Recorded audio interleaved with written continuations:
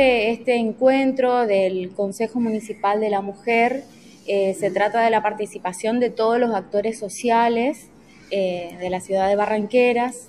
donde cada uno desde el lugar donde estamos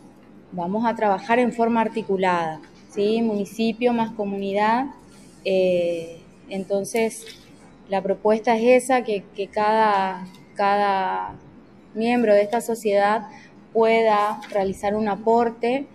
eh, siempre trabajando con, las personas en situaciones de violencia. En realidad, la instancia que surge esto es un proyecto de, de la Asociación Madres del Sol, en donde nosotros eh, instamos, dado la eh, necesidad y la importancia de la participación, como bien decía Lorena, de la comunidad, sobre todo en temáticas de género, y festejamos eh, que, que, se haya logrado esto, dada la importancia de la perspectiva de género en lo que son las políticas públicas en los tres niveles de Estado, sea municipal, provincial, nacional. Eh, en cuanto al trabajo que nosotros venimos realizando desde hace tiempo, eh, cabe destacar bueno, eh, la labor de Norma Almirón y de todo su equipo, que cuenta con 50 mujeres que se autodenominan operadoras en género, que vienen acompañando a víctimas en situación de violencia y que además ahora bueno, contamos con un equipo interdisciplinario a los fines de hacer el acompañamiento y seguimiento de los casos que lleguen a la asociación y que, bueno, eh, de mujeres que lleguen al refugio en situación de riesgo tal que ameriten su alojamiento en esta institución. Eh, bueno, celebrar más que nada, digamos, esta posibilidad que tenemos eh, de poder trabajar conjuntamente con, con áreas del municipio. Creo que es, una sumatoria muy importante, digamos, que nosotros también desde desde el lugar de, que nos toca a cada uno de nosotros poder brindar todas las herramientas para trabajar y abordar con mucha fuerza la problemática. Eh, bueno, el refugio está preparado, digamos, con este trabajo interdisciplinario y con lo que a diario dan las operadoras en esta organización como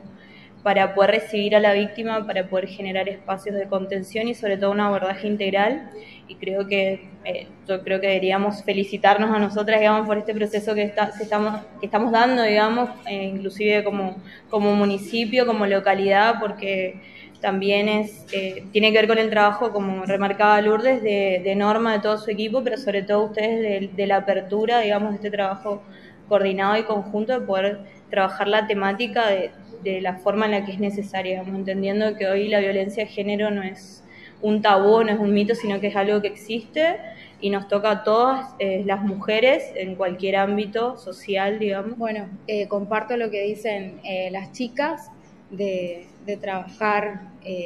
para en pos de la sociedad, la persona que se presenta tanto a la asociación como al área de la mujer del municipio eh, va en busca de una contención que, como muchos saben y quizás otros no, nosotros venimos trabajando desde el 2012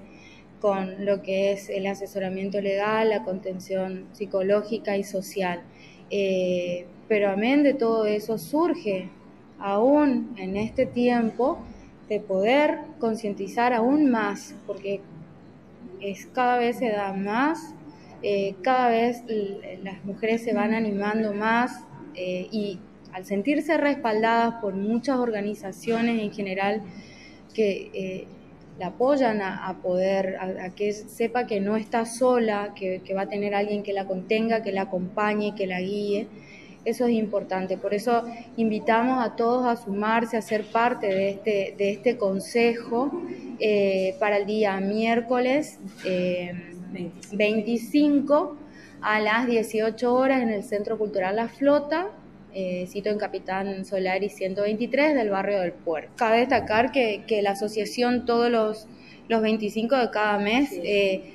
eh, se hace el trabajo de, de, prevención. y concientización en la, en la, entrega de folletería, recordando de que no es una fecha más, ni es una fecha donde se celebra algo sino tiene una finalidad que es concientizar y prevenir e informar también, por supuesto.